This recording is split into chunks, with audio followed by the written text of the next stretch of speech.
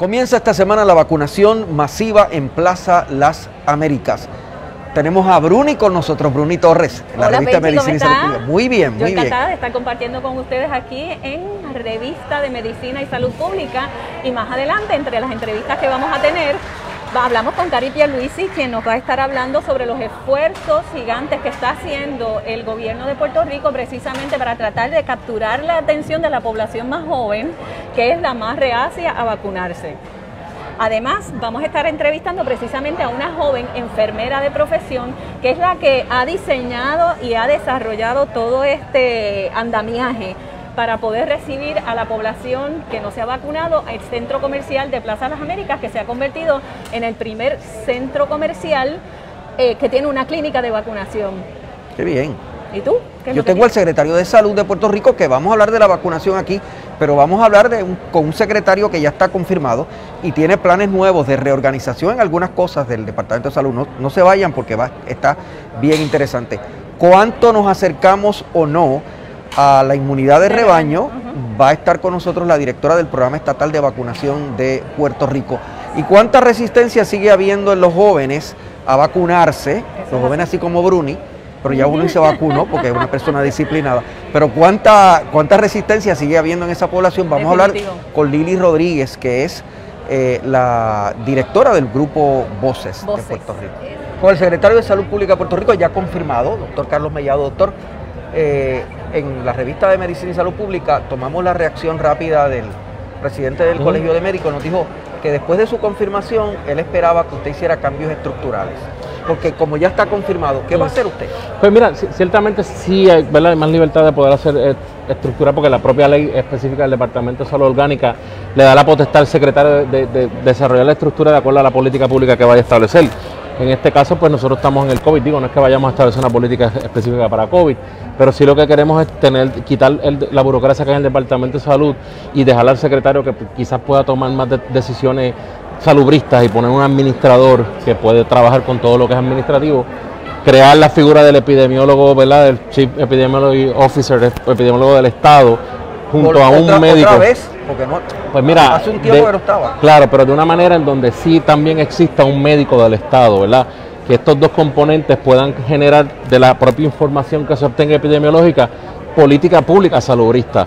Porque precisamente el Departamento de Salud, además de llevar las estadísticas, tiene que enfatizar en generar esa política pública y esas son, esas son las dos estructuras importantes que nosotros queremos crear, obviamente reforzar el laboratorio del Departamento de Salud, que es algo sumamente importante, crear un laboratorio. Nosotros en Puerto Rico necesita tener un laboratorio específico. La vuelta eh, a los famosos hospitales municipales porque eso como que se abandonó un poco y en una pandemia hemos dado, nos hemos dado cuenta de que eso es Mira, los, los, centros de salud de los municipios juegan un papel sumamente importante, o sea que yo creo que, que, y eso lo hemos discutido con el señor gobernador, de hecho es parte de su política pública, poder buscar a aquellos municipios que no tengan acceso a servicios de salud, ayudarlos a que puedan tener sus centros de salud, eh, propiciar que los centros, ¿verdad? Los, los, los, IPAs también puedan tener esos horarios extendidos, o sea que, que, que que tengamos acceso a servicios de salud, porque sabemos que en Puerto Rico hay lugares que no tienen acceso. Y eso, la salud mental es un problema serio. Y la salud mental en las cárceles. Murieron cinco confinados de sobredosis en varios meses.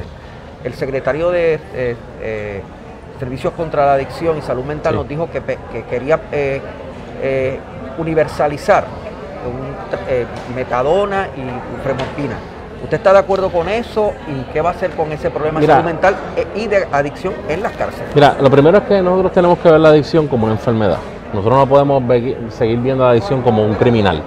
Eh, yo creo yo creo totalmente en la despenalización del adicto, ¿verdad? Y eso es algo que, lo digo y lo tengo que decir. ¿Despenalización del adicto o de la droga?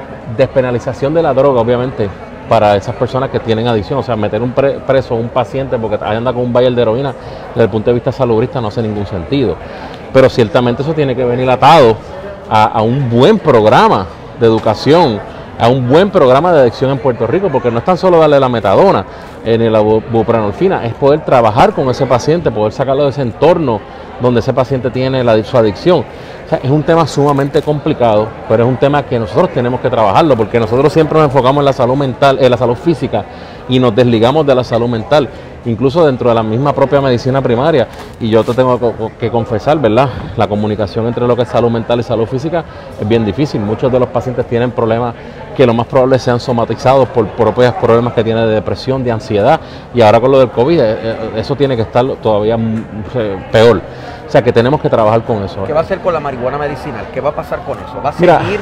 la marihuana medicinal, el cannabis medicinal tiene que continuar, ¿verdad? Es una buena herramienta para el dolor, pero se tiene que regular. O sea, tenemos que trabajar con la regulación, tenemos que velar, ¿verdad? Porque, porque esto no vaya a ser... Eso? pues mira, eh, yo te diría que no, te diría que no está descontrolado, pero no podemos darnos el lujo que se descontrole. Sí tenemos que generar más acceso a los pacientes eh, ¿verdad? Tener este tipo de tratamiento porque funciona, funciona, pero funciona para el dolor. Como de la misma forma que te digo, yo no creo en el Xanax recreacional, tampoco creo en, el cannabis recreacional. Yo creo que cada eh, eh, sustancia tiene su, utilidad médica y tenemos que desarrollarla al máximo. ¿Usted pediría al Senado que considere una nueva versión o haga un nuevo intento para prohibir las terapias de conversión o lo dejaría así? Mira, en cuanto a las terapias de conversión, la posición mía es siempre y cuando algo vaya en deterioro de la salud de una persona, yo no, yo no voy a estar de acuerdo desde el punto de vista salubrista. Ciertamente, ¿verdad? Hay que separar lo que es un consejo espiritual, de eso yo no, yo no, ¿verdad? Esa parte yo no entro. Pero la parte que tiene que ver con lo que es psicólogo, psiquiatra, pues yo creo que sí, que, bueno, que de hecho yo no he visto que se den terapia de conversión, ¿verdad? Que eso es algo que, es importante que se establezca. no se sabe si hay terapia Por eso, y, desde ese punto de vista, si eso genera algún tipo de trauma o maltrato, que de hecho no se puede tratar algo que no existe, porque dentro del DSM-4 el no hay nada, es una, si la persona es homosexual, pues homosexual, no, tiene que ver nada con, una enfermedad como tal, vez Por lo tanto, hay que ser, yo tengo que defender lo que es la parte eh, salubrista. Eh, pero en cuanto a la terapia de conversión, si, si la persona quiere buscar un consejo espiritual, eso es otra cosa. Pero específicamente no se puede tratar algo que no tiene un diagnóstico y eso es importante que la gente lo entienda. Hay menos vacunas Pfizer y ahora se autoriza el uso de la vacuna Pfizer para los mayores de 12 años. O sea, ¿qué está pasando con eso? Mira, no, estamos recibiendo más vacunas Pfizer. Nosotros recibimos más? de 50, 54 mil vacunas Pfizer semanales en respecto a Moderna, que son como 32 mil. O sea, sí se está recibiendo más vacunas Pfizer, además de, de los programas de farmacia Walgreens y los diferentes eh, retail pharmacy programs que también reciben vacunas eh, ¿verdad? por otros lugares. ¿Se va a recibir aquí, en Plaza? Sí, sí, lo que estábamos hablando, sí. Lo que pasa es que la logística es complicada, pero ciertamente, claro que la vamos a tener aquí. ¿Va a haber otros centros comerciales grandes, Plaza del Caribe, Miami? Eso estábamos hablando y sí, vamos a trabajar con eso, sí. Ciertamente lo tenemos que hacer. O sea, que, se, va, se, va a generalizar. Se va a generalizar, eh, correcto. En cuanto a las escuelas y los municipios, hablábamos con el, el director ejecutivo de Puerto Rico Health Plus y nos decía que puede haber un nivel de positividad inflado que no es correcto si la muestra es pequeña que, que se hace y eso puede afectar las clases.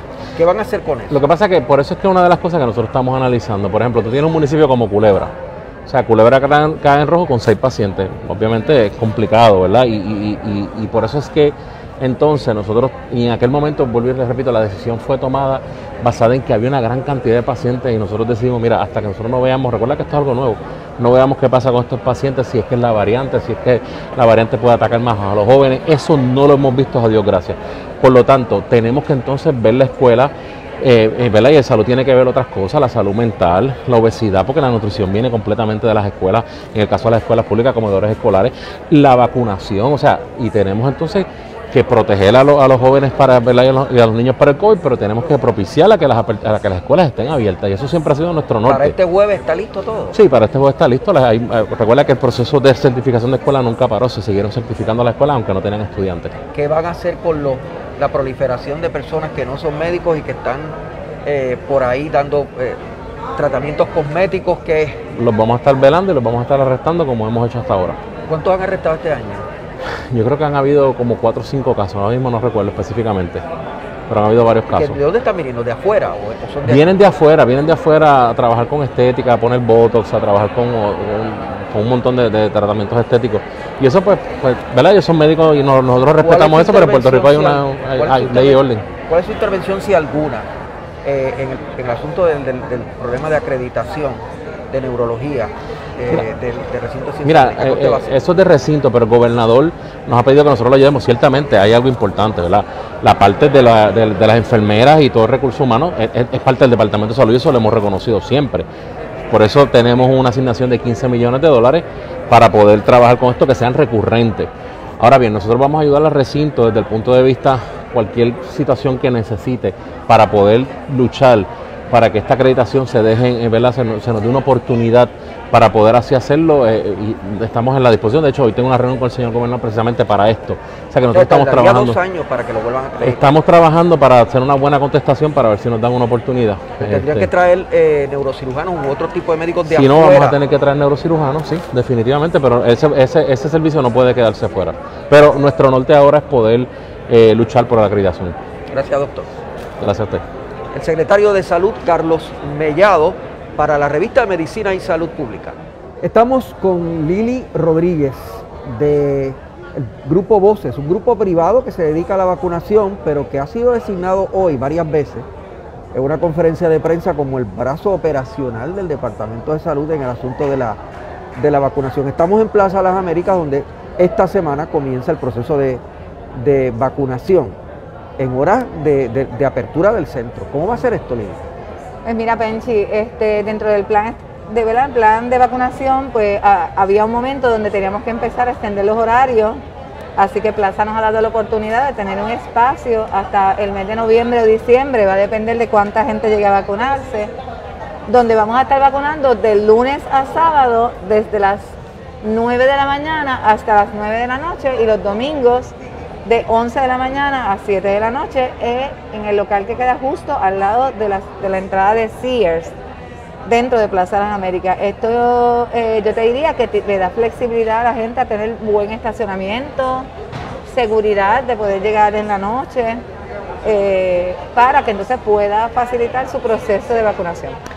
Y esto va a ser posible en plaza y se extenderá, se extenderá a otros a otros centros comerciales como Plaza del Caribe, porque ya hay gente preguntándome que nos están viendo ahora mismo diciendo, ¿y Plaza del Caribe? ¿Y Mayagüez Mall? Bueno, pues te comento que ya en la tarde de hoy tenemos una, mañana en la mañana, perdóname, tenemos una reunión con un grupo de unos 22 centros comerciales.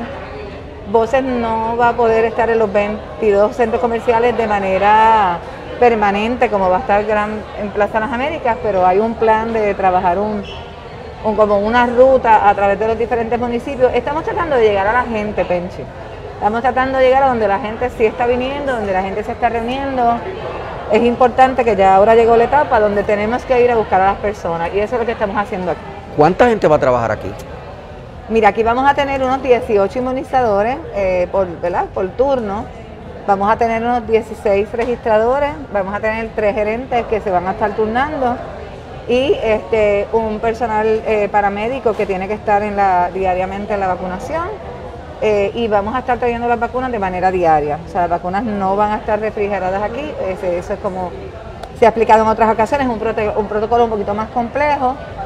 Ah, por esta semana vamos a tener la vacuna de Moderna y la vacuna de Johnson Johnson, que hay personas que nos han estado escribiendo en las redes sociales que es la vacuna que quieren, aquí la vamos a tener disponible.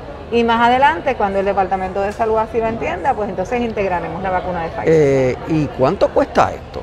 Pues mira. Si vamos a calcular. Pues mira, Benchi, este, yo no tengo idea de lo que cuesta, pero sí te puedo decir que Plaza Las Américas ha donado el espacio. Te tengo que decir que Direct Relief ha donado todo el equipo que se está utilizando aquí, mesa, silla, eh, rotulación, todo lo ha donado esta, esta organización que se llama Direct Relief y el personal que va a estar aquí trabajando se está financiando con una propuesta federal eh, que se le otorgó a Voces, que es precisamente para costear el personal. Que más o menos rondea, rondea cuánto. Eh, bueno, en realidad pudiéramos decir que un estar aquí durante una semana pudiera estar rodando una nómina de 3 mil, 5 mil, 6 eh, mil dólares este, ¿verdad? Entre, la, entre la nómina.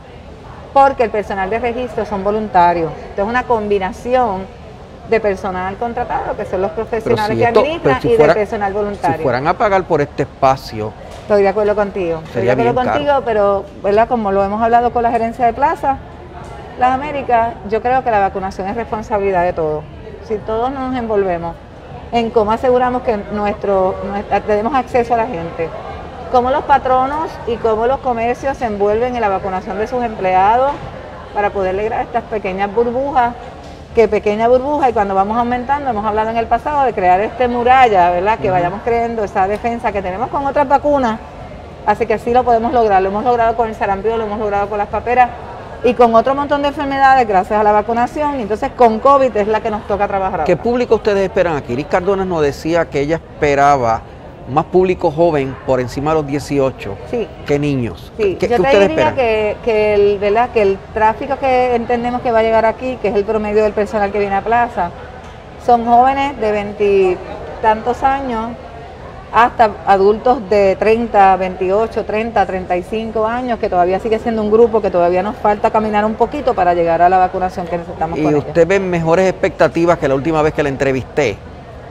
Eh, de que ese grupo vaya cediendo en las actitudes de algunos de no vacunarse? Tiene que haber una combinación de educación, tiene que haber una comunicación, una combinación de buscar incentivos de cómo los vamos a vacunar y cuando hablo de incentivos no hablo de dinero, pero ¿qué los mueve? ¿Qué los mueve para, que tomen esa decisión y que entiendan que tienen que ir a la salud colectiva, a lo que es la, La, la inmunidad de rebaño que estamos buscando y que ellos sean parte de esa solución? Gracias Lili. Gracias, a ti, Penchi, gracias siempre a las revistas de salud pública por darnos la oportunidad de llegar a la comunidad. Lee Rodríguez del grupo Voces para la revista de Medicina y Salud Pública. Cubrimos la ciencia porque la ciencia es noticia. Para la revista de Medicina y Salud Pública, la doctora Iris Cardona, directora estatal del programa de vacunación de COVID en Puerto Rico. Eh, qué bueno verla. Saludos. No, no solo verla en internet, sino verla presencialmente. ¿Cómo vamos en el programa de vacunación? Se está inaugurando un proyecto de vacunación en Plaza Las Américas. Sí. Eh, yo jamás pensé que iban a llegar a este nivel, pero llegaron. No, no es nuevo, lo hemos hecho en el pasado con influenza. No obstante, seguimos avanzando en el proceso. Hemos avanzado con las poblaciones más vulnerables, la llamada fase prioritaria de personas mayores de edad, personas con condiciones médicas, eh, trabajadores esenciales, y ahora estamos en la población general hemos dispuesto que la vacuna esté accesible. En múltiples puntos tenemos sobre 600 eh, proveedores dando el servicio, unos con mayor capacidad, otros más pequeños, pero en, múltiples puntos en Puerto Rico. Una de las estrategias eh, que miramos es llegar a donde la gente va, a donde la gente quisiera ir.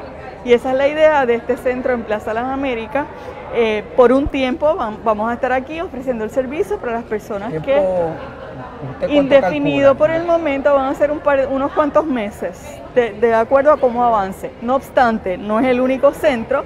Estamos en oficinas médicas, estamos en centros de salud, estamos en hospitales, estamos en farmacias y estamos también haciendo actividades dirigidas en diferentes comunidades también. El secretario explicaba que es un poco complicado traer Pfizer acá. Sí. Eh, y que va a depender de la demanda de, jóvenes. Pero uno puede razonablemente pensar que los jóvenes van a preferir plaza.